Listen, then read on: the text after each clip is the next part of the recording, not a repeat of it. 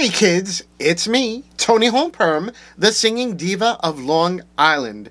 If you enjoy videos where you get to see a drag queen take a eyeshadow palette and create a fabulous drag look, well then you've come to the right place. Now today I decided to play with a new palette in my collection. It's the uh, uh, P. Louise Stack 'em Up What's Your Favorite Position CEO OOO OOO. I I I don't know these little stack stack 'em up palettes, they have so many names written on them. I, I don't know which one is which. I mean, I think it's CEO OOO But I'm just calling it the purple palette, okay? Because um, when we open her up, here it is, a very beautiful uh, 8-pan purple color story eyeshadow palette. Now, of course, I did swatch the palette, so uh, let me throw the swatches up and uh, I'll describe each one to you. Okay, going in order from left to right, we have the first uh,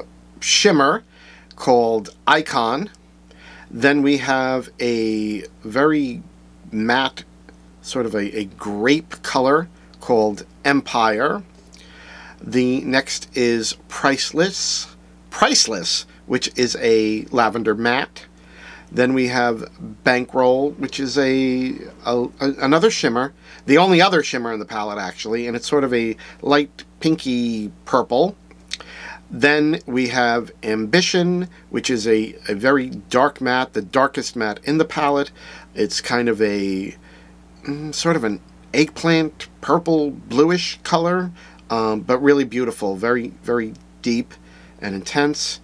Then is CEO, OOO, OOO, and that's more of a red-based purple, uh, very, very beautiful.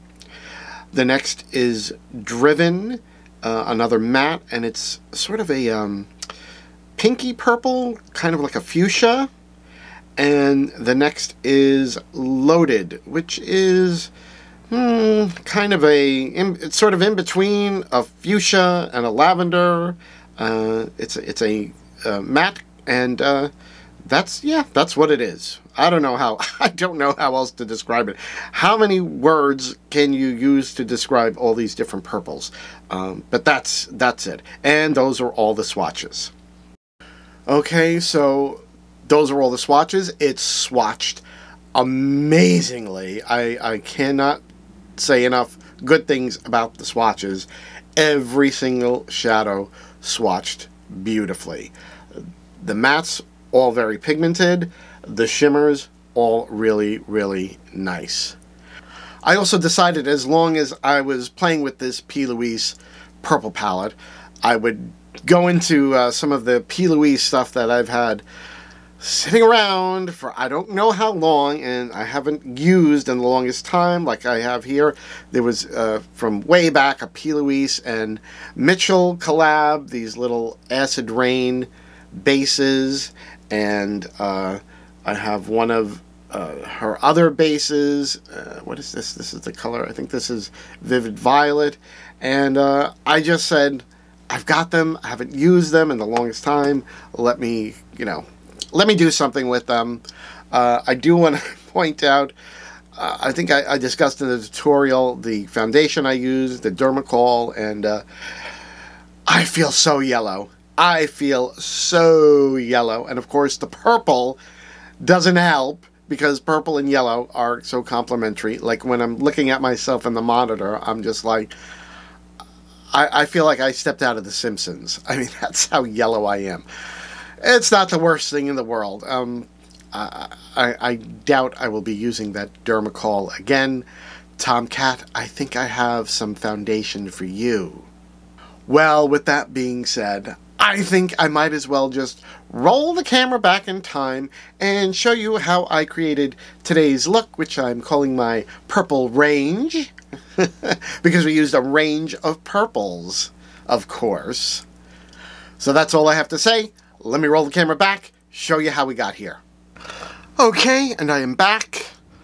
Uh, decided to come in closer uh, with the camera than I did in my last video. I was, I was a little far away in the last video. I don't know what I was thinking. Anywho, okay, so um, eyebrows glued down, base foundation done. I did a little uh, cream contour, although it's not really even showing up. I usually don't cream contour uh, for these uh, videos. Usually, I, I, I, mean, usually I do for performance, um, but uh, I realized I didn't I didn't cream highlight. Oh well. Uh, except except for the nose, that's really the most important. We'll we'll powder highlight the the uh, areas that need to uh, be bright. So it is what it is. Uh, so yeah, I did a, a, purple eyebrow, and I used a lot of the uh, P. Louise products that I have. The um, the Acid Rain and Ecstasy, um, the uh, base in what color is this? Uh, vivid violet, and uh, and use some colors from the uh, from the palette to go over that. I'm like, why twiddled and tweaked with these brows. Too much today, too much. But and, and I'm still not happy with them. But what else is new? I'm never happy with the brows. So what I think I'm gonna do um, is go in very very dark with this color ambition and I'm just gonna do that in in the crease and in the outer eye and then blend it out with the with the lighter colors and I'm I didn't take down because I want to go all the way out. I'm go, going all the way out today. Um, and uh, I think probably I, I don't think I'm going to use shimmers on the eye. I think I'll be using them only on uh, I think I'll use them with the lip. So let's just let's just see what happens. We are playing around with the makeup today. It is again one of the coldest. Oh, just gotta tap out those creases. Also, I used my P. Louise base since we're using P. Louise eyeshadow. It's again one of the coldest days of the year. It's ridiculously cold. The pigment is pretty good on that. I don't know if this is the right brush to use. I should probably use a smaller brush. I'm just going to clean that off. I'm going to go in with a somewhat smaller, pointier blending brush if I can find one. Uh, go with this one. I don't even know. What is this? It's a Morphe E17. Yeah. Yeah, that's that's a little better. Because I, I want this in very specific areas.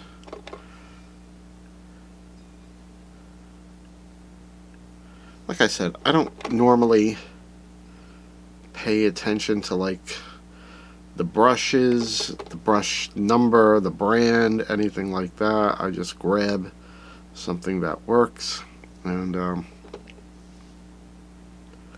that's how I roll.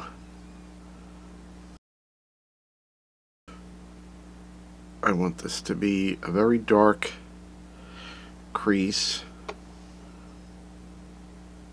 I want to really bright, well not bright, but I want a, a lot of contrast um, when I cut the crease because the, the lid area is going to be very bright. I think it's going to be just matte with the brightest color in the palette. I've got this one little ridge here from gluing down the brows and I can't seem to get the eyeshadow into that spot. But I think if we take a little pencil brush and dig it in there, yes, there we go. Yes, because I had a spot that was driving me nuts. Okay. So this is how we're gonna do this. I'm not taking this dark color too far up, too far out. Blend and blend and blend. It's, it's going to be a lot of a lot of blending. Okay, so uh, let me do the same on the other side, and then we'll start with blending it out. Okay, so I laid Ambition down on both eyes, and just to be safe, I said, let me put some powder down. I really don't want any fallout. Um, some people like to do the eyes first and then do the base, but with drag, I, I really like to have a, a, blank canvas to work with. So I, I, just put the powder down and we brush it away after. Uh, so, okay, that seems pretty good. I'm gonna now go in with this color CEO 000 this this color here and start blending out ambition My husband was kind enough to get me a frozen coffee from Dunkin' Donuts. Mm.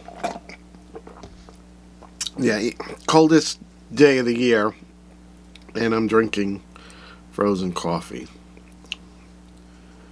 Well, he drinks, he actually drinks an iced coffee like every day, every day. Even in this coldest weather, he's still doing his frozen coffee.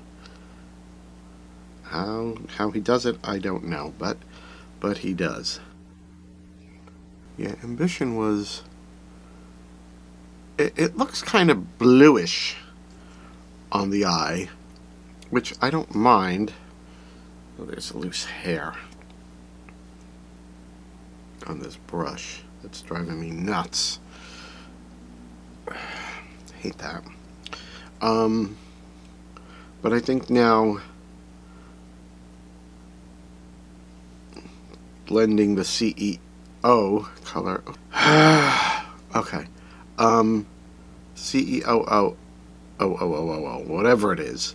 Um, blending that on top of Ambition. I think is now firmly putting us back in the Purple range. Purple range. Maybe that's what we'll call this video. Be on my thumbnail, maybe. Purple range. That is looking good. Looking good. Looking good. Okay. Let's do the same on the other side. Okay, that is still looking good. It's so pigmented.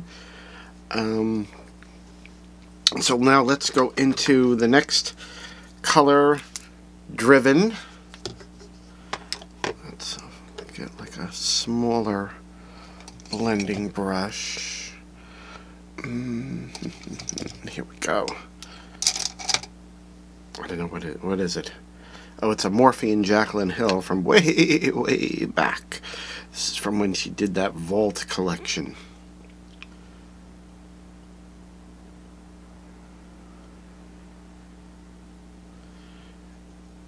By the way, this look is very inspired by um,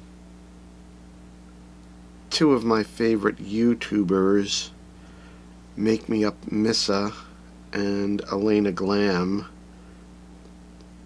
I mean, seriously, those those two, they really they should be drag queens. Well, Elena, Elena is a is a drag queen, La Diva Deluxe. And if you don't follow her on YouTube, Instagram, and all those things, you really, you really need to. Her, uh, her eye looks, uh, not just her eye look. She does all kinds of incredible uh, makeup. Um, sometimes you know special effects and things like that um, but uh, you definitely should be following her and definitely you should be following Make Me Up Missa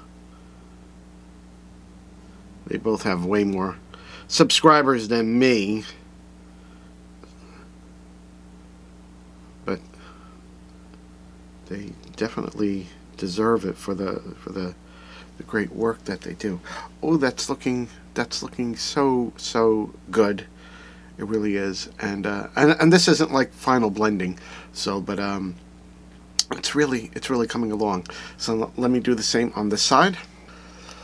Okay, uh, that color driven is is so beautiful. I think I'm going to use that as my blush, and uh, now we're going to go in with this color, loaded. So in case I didn't say it all throughout this, we went from ambition to the CEO uh, to driven and now loaded.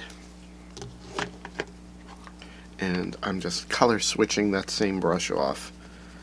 I know some people they you know like to use a different different brush for all the colors, but uh, I'm lazy. I am lazy. um, and besides, the color switch the color switch gets the color off. That's all that matters.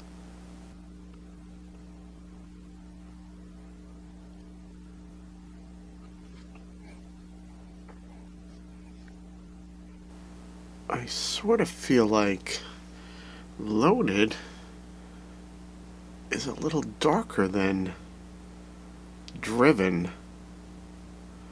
So I don't know if it was a mistake to go that route, but oh well, it is what it is.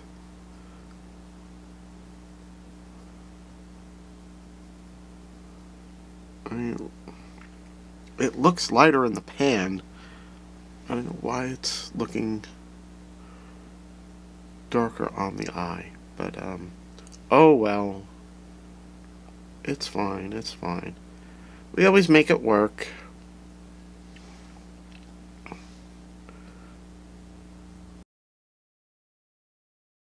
Okay, so, um, I'm pretty happy with that.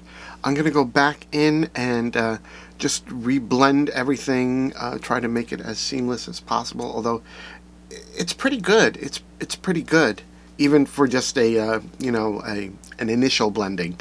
Um, but I'm gonna reblend everything, uh, and then I'm going to cut my crease, and I'll be right back after that. Okay, I'm back. I cut my crease, and uh, I did that uh, by carving out with a Q-tip and some uh, Neutrogena eye makeup remover because I wanted to get rid of as much pigment on the area that was going to be the crease. Um, and then uh, went back in with some P. Louise.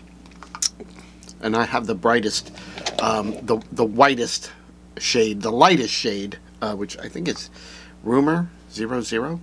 Um, because I really like the colors to pop. My frozen coffee.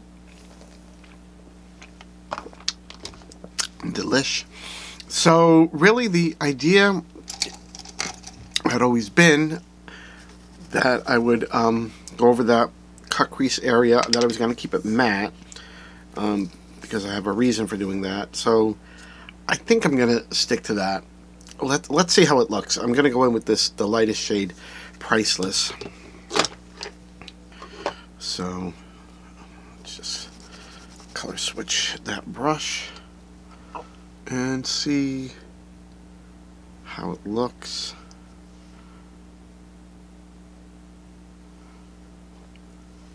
the reason the reason I am keeping the lid matte is because I'm going to try a pair of colored lashes. So I figured maybe it didn't really pay to do anything crazy on the crease area if I was going to have a colored lash. So, that's the thought. will it work? I don't know. We're going to find out. And I should have blended in here first, and I didn't. But that's okay. We'll just blend it in afterwards.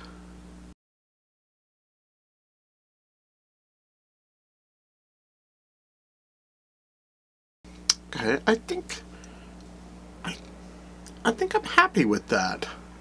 I do, I do. So, um let me do the same on the other side and just um, you know, work on that blend a little bit and uh I'll come back and then we'll we'll go from there. Okay, I'm back. So I set priceless on uh, both sides.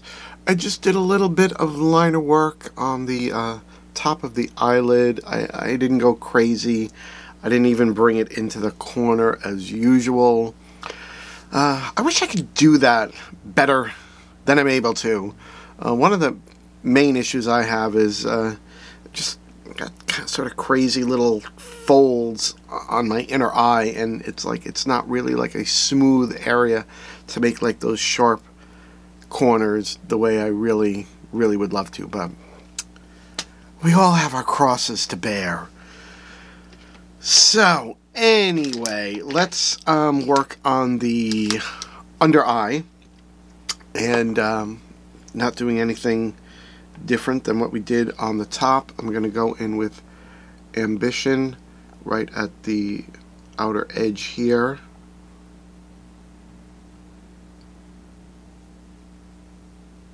And I'll just blend it out um,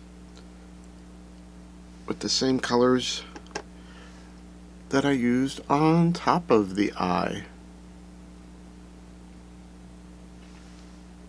I used a uh, an old foundation that I've I've had laying around. I don't know if anybody would remember this stuff, Dermacol, for like um, the longest time. I remember actually when I first started watching uh, makeup videos on YouTube, and you know wanted to learn more about makeup and drag makeup and and whatnot. Um, that was like a thing, the Dermacol Foundation. Everybody was like using it, and you know they were like covering tattoos, and they were like, you know, because it was um, doing such a great job of, of, of you know covering, and supposed to be so incredibly um, pigmented and all that stuff, and uh, but but apparently there were like a lot of like dupes of the Dermacol around, and so people were like, sometimes they were getting the real Dermacol, and sometimes they weren't, and so sometimes you know, the uh, uh, outcome of using it was not what they uh, had hoped it would be, and now, now you don't ever hear about Dermacol. At least, at least I don't. I don't know. I don't recall ever seeing any videos of late where anybody was was using the Dermacol. Oh, I really should have brushed the foundation, the, not the, the foundation, the powder that I had set down away. I think we're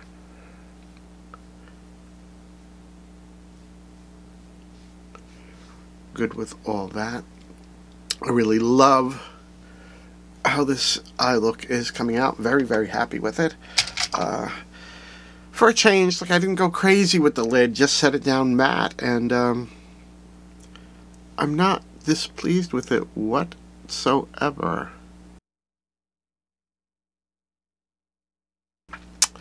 Okay, I think that's um that's pretty much it. I'm gonna uh finish everything up off camera and when I come back I'll have the finished drag look and uh, I think we're all to be pretty pleased with it so stay tuned. And we're back and here it is the completed drag look. What do you all think? Hmm? I'm pretty happy with it. Uh, as I said in uh, my tutorial, Uh, I'm calling this my purple range. yeah, I'm, I'm, using a, a range of purples to create this look, and uh, I'm very happy with it. Okay, now of course, as always, I want to let you know what I did to complete the look. Of course, there was my uh, contouring and highlighting. Uh, I went into the palette, uh, back into the palette, to use this color Driven for my blush, and uh, I think that worked really good. For um, upper cheek highlight, I grabbed this Artist Couture highlight. Uh, this is called, it's, it's one of his Diamond Glow powders, and it's called Purple Dream, and uh, I think it, uh, it's, it's really such a beautiful highlight, and um, what I love to do now, well, I, have always done this really, um, but uh, after I do my contouring and blush, that's when I like to do the highlight. But what I like to do is go in with a setting spray uh, once all the powders are down, um, so I feel like it helps meld the powders into the into the skin. And uh, I've been using, you know, my own setting spray that I've made because I was getting so tired of using up those those little bottles that are like and and really it's all it really is for the most part is distilled water and a few other ingredients and I made my own and I can use it as much as I want and I've been using this for uh, quite a while now, and I still have tons of it left. And uh, if I have to make more, I have all the ingredients, and uh, I can easily throw together another batch. So um, there's lots of DIY videos on YouTube if you want to make your own setting spray. I just found for me because, you know, doing drag and doing all these tutorials, it really was a waste of money uh, going through those little bottles. It, it, was driving me nuts. But I digress. So now the lips. Uh, I just threw on a Maybelline Super Stay Matte Ink, and this is the color Creator because I wanted uh, something purple. And then I went back into the P. Louise CEO palette, and I put some of the shimmer icon down and then some of this color bankroll down on that. But I think, I think, I think I want to take a little bit of the Artist Couture highlight and put it in the very, very center of the lip. What do, what do you think?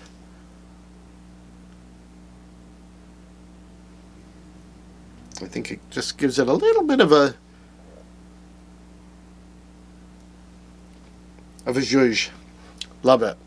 And also because uh, I wanted to just try something different, I've got um, these colored lashes from my good friend Ashley Jade and uh, her company Chaotic Cosmetics. I think I have, yes, they they come in a pack like that. Uh, that's where the the blue would be, but uh, of course I have them on and uh, five pieces. You have a, a red, an orange, a yellow, a green, and I just thought it would be fun to uh, do a, a colored eyelash. Um, I, I thought it would show up more. I don't I don't know if it's showing up that well because of the um, the colors that I that I did, but I mean they are they are really uh, beautifully intensely colored. I mean if you see if you see these I mean, you can see how, how beautiful they look. But that's probably my mistake. Maybe I should have just done a very white cut crease and then they would have showed up more blue. But um, that's on me. And uh, it, it's fine. I, I think you can still see enough of, of the blue that uh, I'm happy with them. So now my thoughts on this little P. Louise purple palette. Well, let, let me tell you, this is the this is the purple palette that could. Uh, really, really good. I just love how this look came out, um, especially because you have this color Ambition um, as a deepening shade.